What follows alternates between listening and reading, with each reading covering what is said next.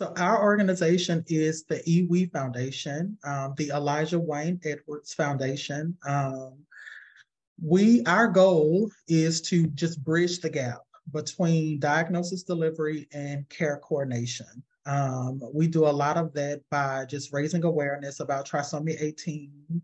Um, we we have grown so fast and so unexpectedly. Um, we we host community uh, conversations uh, through webinars. Um, we actually got started during the pandemic or right before the pandemic. Um, and so we have been in the virtual space and it's it's been good for us. So we've kind of stayed there.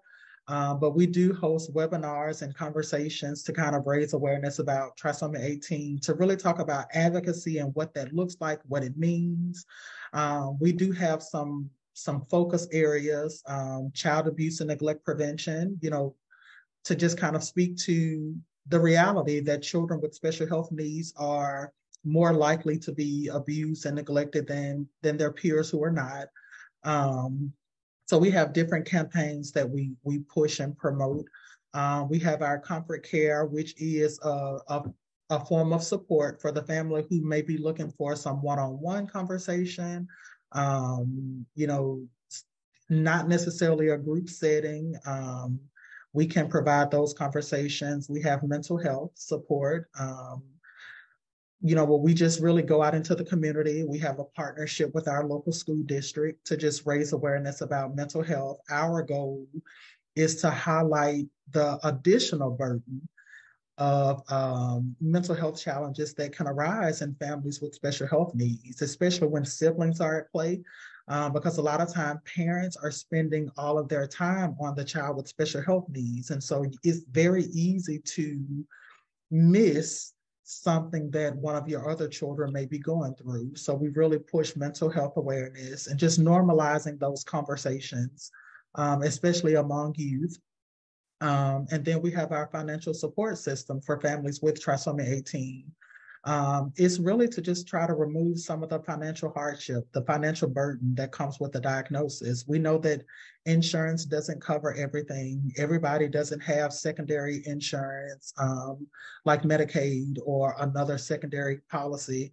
Um, so we do try to to offset some of the cost. Um, um, that families may experience, whether that's durable medical equipment or you know a utility bill because you're just struggling this this month or something. And so, so those are a lot of um, those are the core programs that we have. We do have a few other um, initiatives that we that we do um, know your family history um, kind of like kareem said when we got our diagnosis we started trying to question you know, who in the family may have had something and we didn't know about it. So we do have a Know Your Family History campaign as well that just really promotes talking about family history, not being afraid to ask those questions about diagnoses that you heard, you know, your grandma talking about or somebody talking about, but you didn't explore.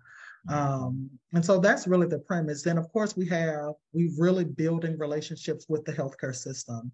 We want to change the narrative about trisomy 18. We want to use our story for the healthcare system to, to see trisomy 18 in action. Um, and so we do uh, raise awareness about trisomy 18 um, in the healthcare space as well. We started out specifically for trisomy 18 families. Right.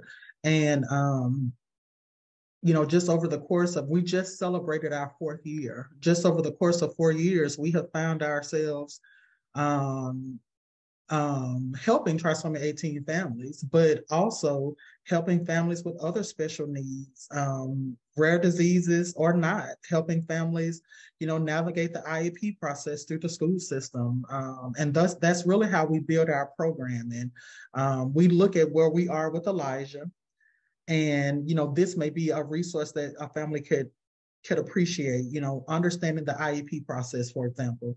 And so we put that into the the information that we share.